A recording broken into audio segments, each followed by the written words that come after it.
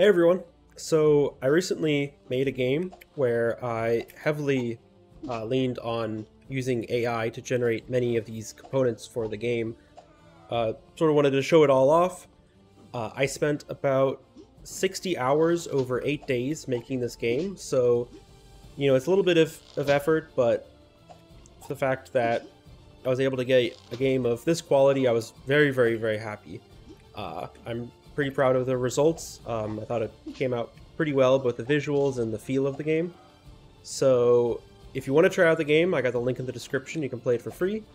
But in this video, I'm going to be going over the, the broad basics of how I did this uh, and building upon things I did in the previous episode. So the biggest thing was the visuals that built off of the last episode. So if you saw my latest video, this is not going to be a surprise to you. Uh, I'll have that link down in the description. But it was a way to to generate these pixel art animations. And sort of, if we come back, uh, you can see this is a character that we made out of it. Now I'd mentioned in the previous video that, that weapons are a little more difficult. I have a little more practice with this now, so it's not that bad for me. But basically these are, are two different objects coming in. Uh, and I would just hand animate the sword position to the keyframes that I cared about. Uh, the fact that like it jumps around and doesn't follow perfectly doesn't matter because I'm only taking a few frames out of the entire animation and rendering those out. That's one of the benefits of the, the pixel art is that you can have these lower frame rate animations and it's a lot less work. So I was able to get that in. The same thing for the other characters. So for instance, the, the ranger here, I hand animated the bow. Uh, I did various like stretching things. It didn't take me that long. Basically, the entire first weekend, I had all the visuals for all the the basic characters and the player, uh, both the visuals and the code implementation done for them. So it actually did not take me that much time to do all of the different enemies, and there's four different enemy types, uh, basic enemy types in the game. Uh, moving on, not just the visuals, I also worked on the sound in the game uh, using AI. So I used Optimizer AI. I was fairly happy with the results. Uh, I took a few tries for some of them to get exactly the sound I liked, but generally I got, you know, sounds that I liked. Um, you know, even if it did take me 5, 10, 15 different generations, some of them did require a little bit of cleanup, uh, but it wasn't that bad, just in, in uh, Audacity. Then for the music that you're listening to right now, I ended up using Udio, uh, I was also very happy with the result here. I've used them in the past. Uh, I ended up getting a subscription so I can have more generations and Inpainting to play around with that. I ended up having issues with the uh, sort of pacing of it. It would always try to go to these like slower pieces uh, with like softer tones, and I kept having to push it in the right direction. I think I spent about three hours generating this six minute song in the game. And then I also had to do a little bit of cleanup. So if we take here a look at the waveform, the top is the original, the bottom's the cleaned up one.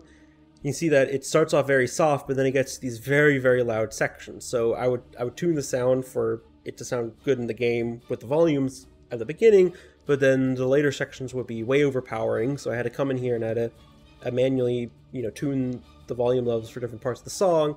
And then it also really enjoyed having these, you know, gaps in certain parts of the song. So you can see that the ending is, uh, the, the final version is a little shorter than the original because I, I took a lot of these these pauses out so that we didn't have any downtime. But you know, for the most part, I was I was fairly happy with that. Now, when it came to the actual game design and coding, a lot of that was done by me. Uh, I am a fairly proficient coder, so the current AI tools are still not up to a level that I would find beneficial to actually, you know, increasing my productivity. But I did use ChatGPT in a section, uh, and that was specifically to deal with the archer. Now, if we take a look at the visuals here, the archer has a specified uh, sort of firing angle that it fires off. So if we fire an, uh, an arrow higher or shallower, it looks kind of weird because it's not coming out of the direction that the, the archer is holding the bow. But I do have a known distance when the archer is firing between the archer and the player, and I do have a known constant gravity, and along with that uh, angle, I can actually compute the power that I should fire the arrow with for it to follow, you know, a normal parabolic trajectory to hit the player where they are at the time that the, the archer releases the arrow. Now, I took physics a few years back. I could probably figure it out, but I just went over to ChatGPT and I asked it what it thought, and it spit out, you know, this answer with not only the answer but the work that it followed, and I plugged in the formula and it actually worked. So, you know, I'm I'm pretty happy, you know, with with how good this tooling is for being able to get these kinds of answers where I I'm able to to plug it into the game and you know here it is in the code and it just immediately works and I don't have to think about it that much. Uh, and it's it's sort of able to, to take some of these these components off and you know it, it's only going to get better and better. So at this point looking forward I am starting work on another you know side action game uh, that I'm playing around with. Is going to take a little longer because it's going to be a bigger game and right now I'm in sort of the the design phase where I'm building out various components uh, I'm not leaning on you know AI right now too heavily on that, simply because a lot of it is these kind of polished things where it's creating the artwork or the sound or the music, which is going to come later in the process.